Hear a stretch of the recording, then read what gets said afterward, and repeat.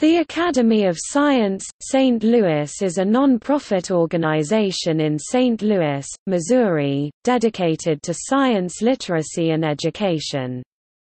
It was founded in 1856 by a group of scientists and businessmen in St. Louis, including George Engelmann and James B. Eads. The Academy has been involved in many science-related activities in the city. It ran a museum of science and natural history in Clayton, Missouri, and was involved in the efforts to raise funding for the St. Louis Science Center. The Academy uses its resources to expand scientific outreach, education, resource sharing, and the recognition of scientific accomplishment.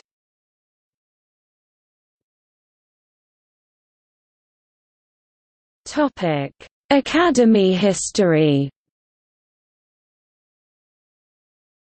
In the 1830s, a Western Academy of Natural Sciences in St. Louis was founded, as a counterpart to the Eastern Academy of Natural Sciences. Its goals were altruistic, to explore the West and discover natural resources.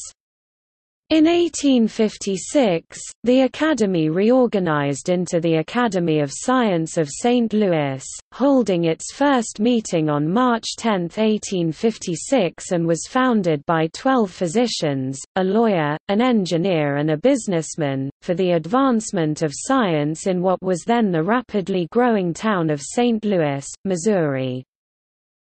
The Academy's mission was to promote zoology, botany, geology, mineralogy, paleontology, ethnology, chemistry, physics, mathematics, meteorology, comparative anatomy, and physiology.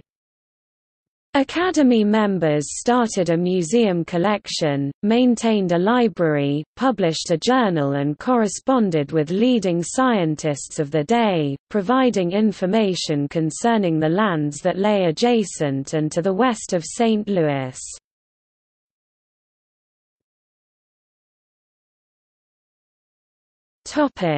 Founders Dr. George Engelmann, a physician and the Academy's first president and a prominent amateur botanist, helped plan the renowned Missouri Botanical Garden. Frederick Adolphus Wislizenus, a doctor and an accomplished observer of Western natural history, helped found the Missouri Historical Society. Carl Andreas Geyer, a naturalist, was also a strong influence on the organization.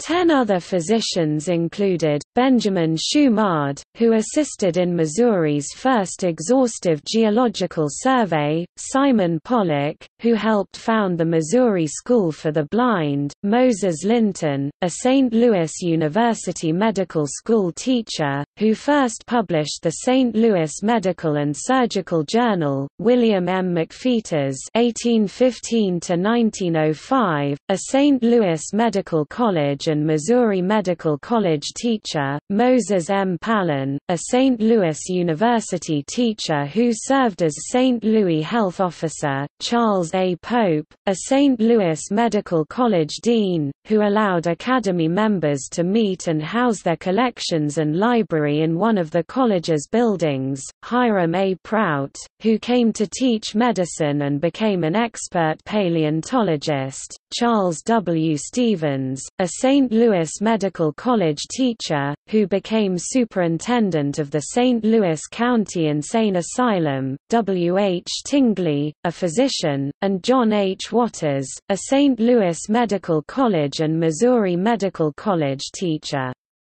The other founders included, James B. Eads, a self-taught engineer, who built the Eads Bridge over the Mississippi River, attorney Nathaniel Holmes, who acquired numerous publications from other science societies for the Academy, and Charles P. Chouteau, owner of the American Fur Trading Co., who studied the region's natural history and contributed to the museum's collections.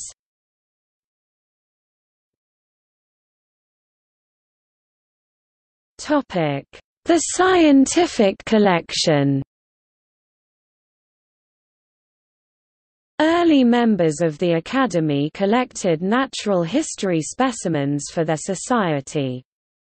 These items were stored and made available to the public in various museums throughout the Academy's history.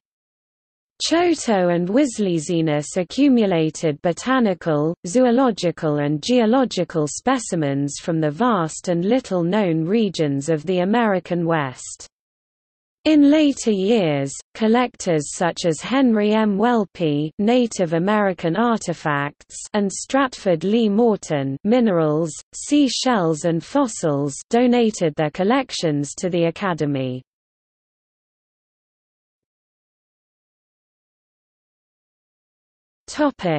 Famous journal For many years, the Academy published one of the world's most respected scientific journals, Transactions of the Academy of Science of St. Louis. Scientific societies of the eastern United States and in Europe were eager to receive copies of Transactions, which contained papers on the natural history and geology of the American West. Outstanding scientist and Academy member African-American Charles Henry Turner, a devoted entomologist, published over 50 papers on subjects in neurology, invertebrate ecology and animal behavior in the Academy's world-renowned transactions.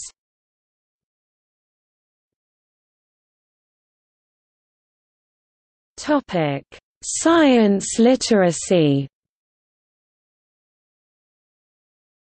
Throughout its history, the Academy has promoted important scientific work and continues to be a staunch supporter of mathematics and science education. Academy-sponsored lectures, exhibits and television productions have been an important part of the St. Louis area's educational scene. Thousands of children participated in informal science classes at the Academy's Museum of Science and Natural History in Oak Knoll Park in Clayton, Missouri. The Academy also helped lead the campaign to build the internationally recognized St. Louis Science Center. The Academy is actively involved in promoting science and increasing science literacy among students and the general public. More than 600 professional scientists have volunteered through the Academy to speak at elementary and secondary schools, universities, civic and youth organizations and other community groups. Many also serve as mentors for the over 450 students who are members of the Junior Academy of Science of St. Louis, for students in the 6th through 12th grades in the St. Louis area.